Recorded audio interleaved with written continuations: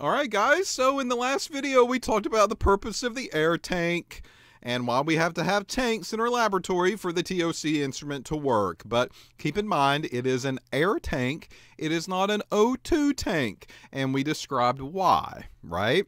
So if you didn't quite get that, go back and take those notes and listen to me again, because I guarantee you that will be a question on an assignment or a test, like a final. So make sure that you understand why we've ordered air tanks and not O2 tanks. So in this video, I told you that we are going to focus on the auto sampler, okay? Or the auto injector, some people call it, but it's really the same kind of thing. It's a place that I can load up my samples and allow the machine to inject them one by one without me actually being there. So the auto uh, injector that we have on the instrument, again, looks very similar to this middle piece here. Uh, this middle piece uh, this is ordered specifically for Shimadzu. So if I'm not using a Shimadzu TOC, I probably cannot use an auto sampler from a different manufacturer. They really are made for the same company and they once hooked up will recognize each other and it will talk to the software. I really don't want to mix any kind of brands here. I'm not saying that it can't be done, but these instruments are made specifically for the auto samplers that come from the same company.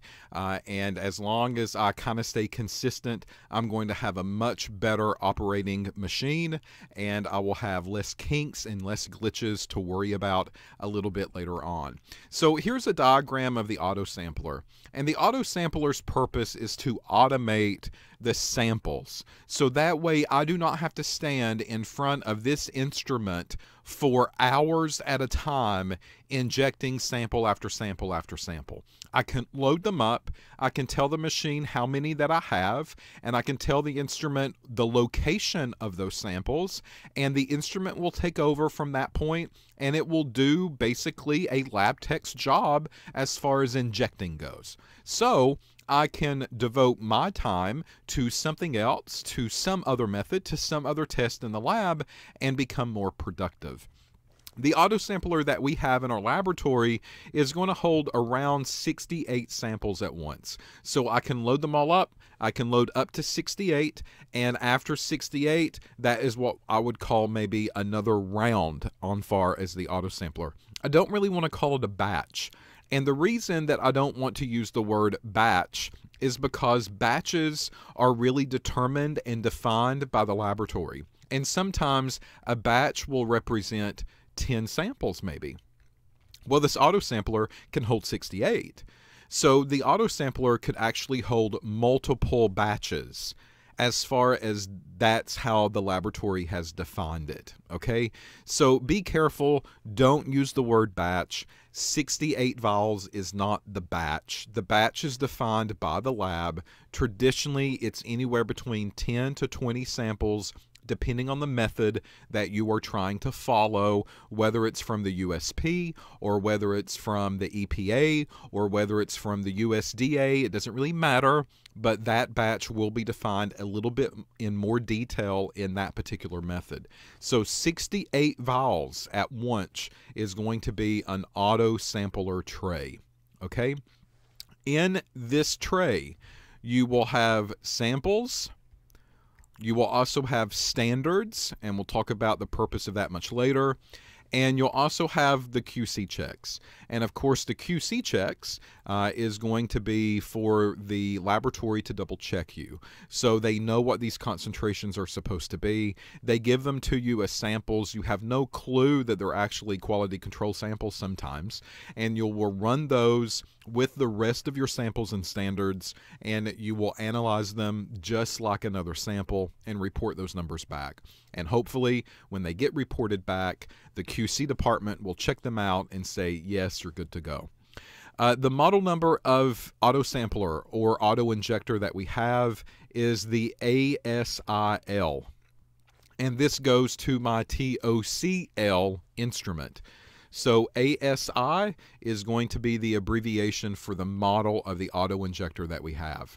The vials that this thing will take for us, what we normally use are 40 mils in volume.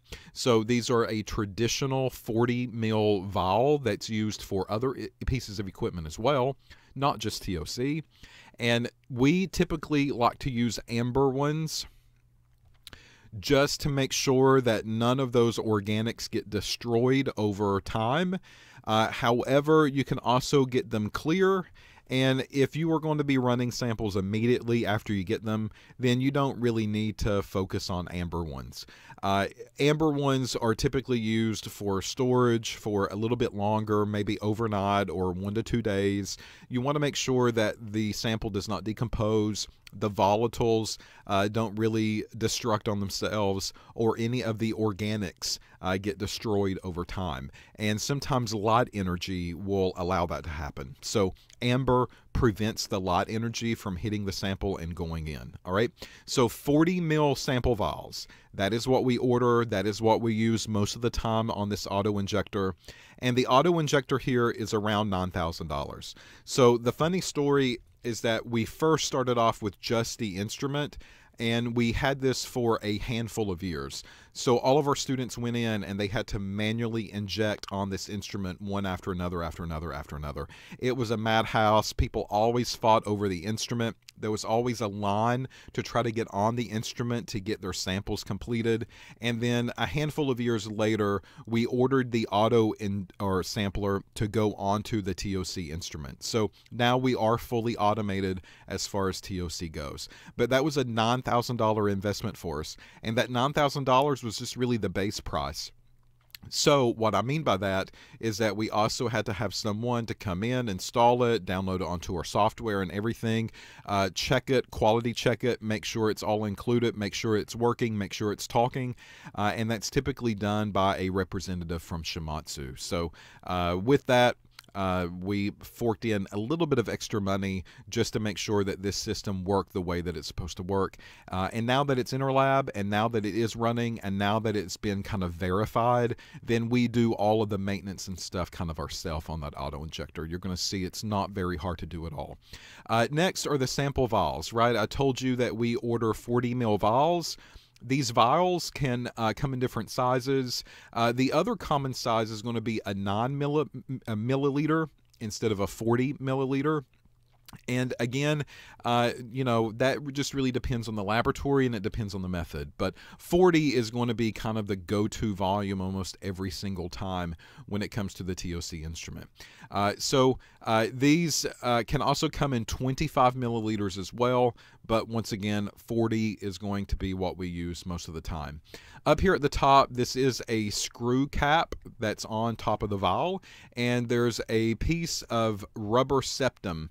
Now, i will call it rubber but it's probably not really rubber rubber okay uh, but this is a uh, inert uh, material that does not react with any kind of acid or base or what you would normally find in a sample that needs to be ran on TOC.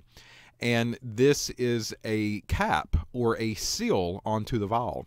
So that way, your sample, if it's a liquid, cannot escape out of the vial. right? of course. I mean, that's why we put a lid on it. The purpose of this piece of septa, though, septum, is that there is a needle that will eventually puncture that lid and come down on the inside of this vial and start sucking up sample so that way it can present it to the TOC instrument. That has to be punctured. All right.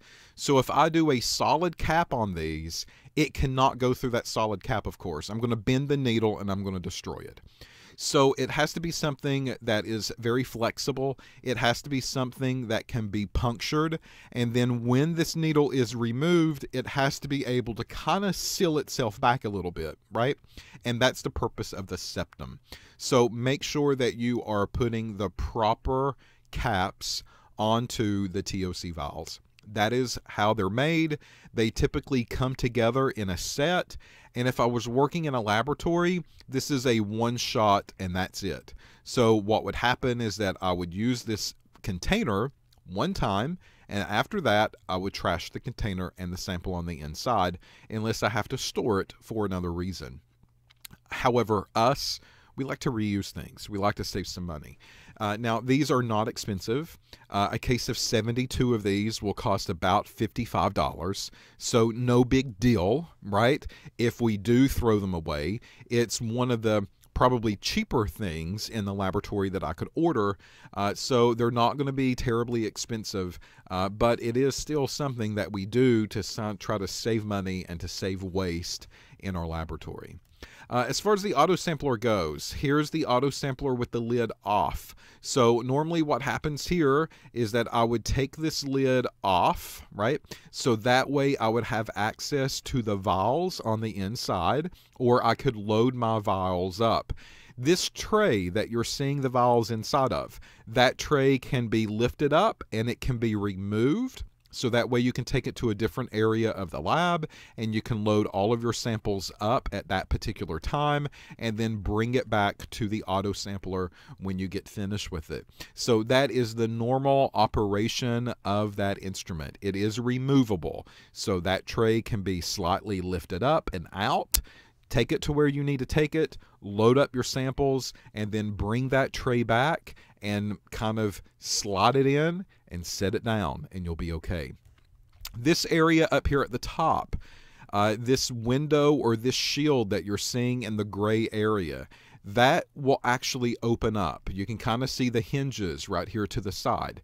So this can open up and behind that shield, you're going to see a needle and that is the needle that will puncture the septa of the vial or the container, and that will suck up the sample and deliver it to the TOC instrument. Now, this needle is not going to last forever. So, this needle can be replaced, and this can be replaced easily. You do not need to call someone to come and do it for you. The only thing that you have to do is just order a new one and then have it shipped, and then you can simply change this needle on your own. Uh, it's very easy to do. The only thing that you have to do, like right here's the needle, right? So this big stainless steel kind of rod that goes down, all right? Only thing that you have to do is that there is a nozzle or a knob that's right here. You just unscrew it. That's all that you have to do. And then you'll pull this needle out and then you'll put the new needle in and you'll screw it and tighten it back. That's all that you have to do here, folks. It's it. So do not call someone to come and do this for you. It's something that any laboratory worker, including yourself, can do. Uh, this tubing that you're seeing over here to the right hand side, that piece of tubing is going to lead to the TOC instrument. So you can actually follow it, right? If this is my needle that punctures the sample container, my liquid gets sucked up through the needle and it goes into the tubing and it goes into my instrument uh, to be analyzed. So that is the piece of tubing that leads from the needle. That tubing can also collapse. And if that tubing collapses, again, it's very easy. You'll order that tubing, you'll snip it in order to cut it to size in a way, and this gets screwed on there at the top, and it also gets screwed on to the instrument at the other end. So, again, very easy to do. Very simple. The only thing that you need is a couple of snips and to reattach it. That's it, folks. That's all there is to it. So, again, a piece of maintenance that you can do on your own without a problem. The entire needle can be removed. So when I told you that you unscrew this up here at the very top, it's actually the needle and it's actually the holder or the mounting bracket that gets attached up there at the top as well. So that whole thing actually will come off for you so that way you can take the needle out and then put the new needle in. Uh, these needles, they're not cheap. They're about $300 a piece, and that really is going to be determinant on the types of samples that you're running. If you're just running drinking water, then these needles are going to last for a very long time. But if you are analyzing other things than drinking water, like those acids, eh, like if I was working for those chemical industries, right? Or if I was working for a pharmaceutical company, that should be very clean water. So these needles should last a very long time for me, right? But if I was working in the chemical industry, and I'm bringing acids and bases and kind of sludgy type of material, this is where the problem starts to happen. So those needles $300 a pop. And it might not be uncommon for you to change those needles out once every month or once every two weeks, depending on what types of samples they're analyzing. If you take a closer look at the mounting bracket, this is what this thing looks like. And you can see the needle that's right here and that needle can actually be slid out of that holder. Uh, you just kind of uh, simply unscrew. You can kind of see where that screw was right there. You just kind of unscrew that out, pull it off, and this will give you access to the needle uh, so that way you can quickly slide it out and slide the new one back in. And then finally, all of those pieces just get screwed back together and mounted back onto the auto injector. So what you're seeing on the screen right now is going to be just uh, uh, not a very good video, but it's at least a little bit of motion, so that way you can see how this needle is taken off and how to replace the needle and put it back on. So I'm just going to hit the play button for you. Uh, this actually came from Shimadzu so we had access to a little bit of the maintenance. So there's the door opening up. They're going to zoom in a little bit on the needle. You're going to see them unscrew that tubing at the top. They're unscrewing the screw here in the front or the side pocket. The whole mounting bracket and the needle goes out on its own. And then here they're going to unscrew that piece so you can slide the needle out. And then you'll have a new needle that you'll slide back into that position, tighten everything back and then this entire mounting bracket and the needle, the new needle at least, will go back on the inside and it will mount right up there at the top where it was. And then the tubing gets attached, reattached there at the last. All right, so that's all there is to changing out a needle on the auto injector for the TOC instrument. That's all that you got to do. So don't pay Shimadzu to come down. Don't pay someone to come and do this for you uh, because this is something that will require just a couple of minutes of your time. And that is it, folks. That's all that you have to worry about. Uh, there are uh, people in a laboratory that will do this kind of stuff for you, and those people are called metrologists. All right, they do not classify the weather or they do not tell you the weather. So a metrologist is a person that works for a laboratory and the only thing that they do is go around and do maintenance on equipment. They help install new equipment. They help exchange new pieces and new parts on equipment so that way the analyst can continue to process samples and load samples up, and someone else can kind of take over as far as the equipment goes to make sure the equipment is working the proper way. Maybe go through some quality checks of that equipment, uh, you know, simple replacement pieces and parts, and then verifying it out. Uh, that would be the purpose of a metrologist. So those labs are also going to be available to you um, as uh, when you graduate. Another thing I want to talk about as far as the auto injector goes. Okay, so here I'm going to show you the image again. On the back side of this, on the back side, there's going to be a plate and that plate can be removed and there's another piece back there that you can also do some maintenance on. All right, so this plate, you're going to see three screws here on the back side of that auto injector. That can be unscrewed off, okay? And what you're going to find back there is this pump, okay? The purpose of that pump is to really suck up sample from those sample vials or containers and pump it into the instrument. And over time, this piece can go bad as well. Now, hopefully, this is something that you never really have to replace and that it will last a very long time for you. But if that pump head begins to malfunction, this is another piece that can also be replaced quite easily. So uh, that's the purpose of the pump head. If it goes out, the auto injector cannot do its job. It cannot suck sample up and send it to the instrument. That's just the way that it is. So it's going to be very easy here to take off the entire pump and replace the entire pump back, brand new. All right. It's also not terribly expensive, believe it or not. So I was actually surprised when I saw the price tag of these things. So here's the pump. The only thing that they did was unscrew that center screw and kind of slid this pump off. And then what they'll do is that they will detach this tubing to the um, main line that goes from the auto injector to the TOC instrument and uh, they will put the new pump back on and then reattach the lines uh, to that pump head. All right. Uh, so to deattach them, you see those metal brackets right there uh, or clamps. The only thing that you have to do is just squeeze those metal clamps, and that will release that tubing so that way this whole thing can be taken off and you can bring the new one back. Uh, these things typically cost around $80 a piece. If they do go out, again, it's not one of those expensive maintenance items that you have to worry about. 80 bucks will give you a new pump head. That pump head again is what sucks the sample up and sends it to the TOC instrument. Uh, and it also allows the instrument to rinse itself. So, meaning it's going to suck up water as well. So, that water will go into the auto injector and it will help rinse out everything on the inside of that auto injector and it can dispose of that rinse water so it helps keep everything completely clean. Uh, there's another video too. I'll pull that one up as well so that way you can see this pump head getting changed out. All right, so there's the pump head that you're seeing on your screen. They're going to unscrew those three screws and take this plate off so that way you'll have access to that pump head.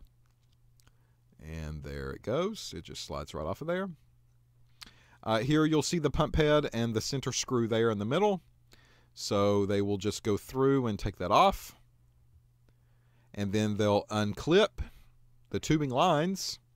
Out goes the old, and in comes the new. So they'll reattach the tubing lines with the metal clips again. They'll slide the pump head back onto the holder, and then they'll put the metal faceplate back on to the auto injector. So that's all that you got to do, right?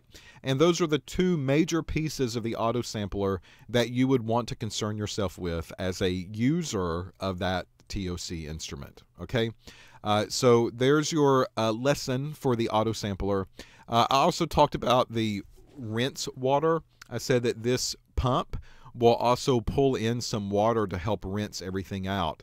You're going to see a uh, bottle with a lid that has a piece of tubing going down inside of it. It looks like this to the bottom left hand corner of your screen.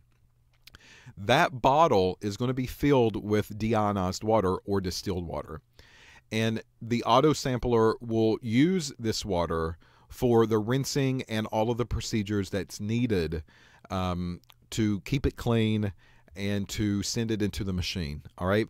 Uh, this is typically held in the back of the auto sampler, and here you'll see a picture of the TOC instrument again.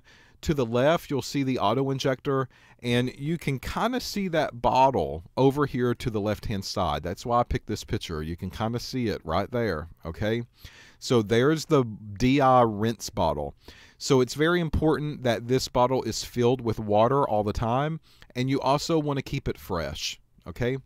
Uh, DI water and distilled water can be like any other water. Over time, a little bit of sludge or slimy stuff can get built up into that bottle, and you want to make sure that that stays clean so none of that gets sucked up into the instrument because then you're going to have a bigger problem on your hands. So, what I normally tell people to do is listen, it's DI water. So, every day, every day, just take that off, unscrew the lid and take that bottle over to the sink, dump it all out, give it a few sprays with DI water, give it a good shake, and then just rinse it out. No soap required, right? Just give it a good rinsing with DI or distilled water, shake the tub up a couple of times, dump it out, and then put fresh water on the inside. That's all that you have to do to keep it clean. So do it every day. It's just going to take a few minutes of your time, and that few minutes every day could save you a ton of headache later down the future if you don't clean it out and that sludge and nasty buildup gets on the inside of it and it clogs up all of your tubing and all of a sudden your needle which is $300 is now affected. All the tubing has to be replaced. The pump head could go bad. You name it this thing could be a disaster. So keep fresh water in the bottle at all times folks Again, that's something that you want to do every day before you start this machine up, or at least on a consistent basis. Okay, so now that's where this video is going to stop. And we're going to keep moving on to different pieces of the TOC instrument. And you're going to start to see this image quite a bit. And this image is what I'm going to refer to on the TOC over and over and over. And all of this are pieces and parts inside of the TOC analyzer. So I've talked about the auto injector and I kind of done it separately. And the auto injector is not on this schematic. It's not on the diagram. Okay. So the auto injector, it, it simply injects samples. That's it. There's a needle involved. There's a pump head involved on the back. There's a piece of tubing that goes from the needle to the instrument. That's all there is to it. But the TOC instrument is where the magic begins to happen. And here are all the pieces and parts that make this thing work. So we're going to walk through the majority of these pieces and parts and talk about why they're there and maybe how to do some maintenance on them, how much they cost, what's the purpose of them, and why do I need them, right? So that's what we're going to start doing in the next video. So we're going to focus on the incoming entry door first to the TOC instrument. And that's up here at the very top. And we're going to focus in on this area right there. So stay tuned, come back, take some notes, pieces and parts and schematics. This is kind of all what you've been waiting for, but this is really what sets our program apart, right? It's about the equipment. What's the equipment doing? Why do I need to use the equipment? What type of samples can we run on the equipment? And here you go.